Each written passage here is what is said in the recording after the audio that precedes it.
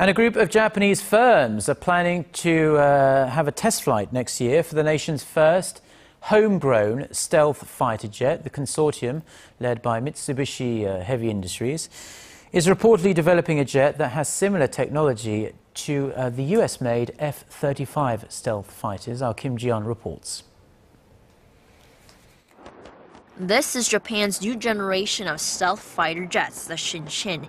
It's 14 meters long and equipped with double engines to produce extra lift and power control mid-air. It's largely aimed at rivaling the stealth capability of China's fighter jets, the J 20, which will be combat ready in 2017.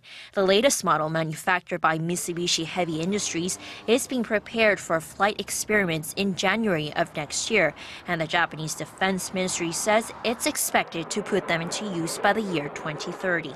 Up until now, airplanes faced risks of damage if the front part tilted upwards.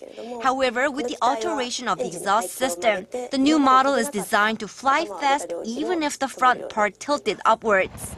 The development of high-tech weaponry by the Japanese government is being met with concerns that it will trigger an arms race in Northeast Asia, already plagued with unresolved territorial and historical spats.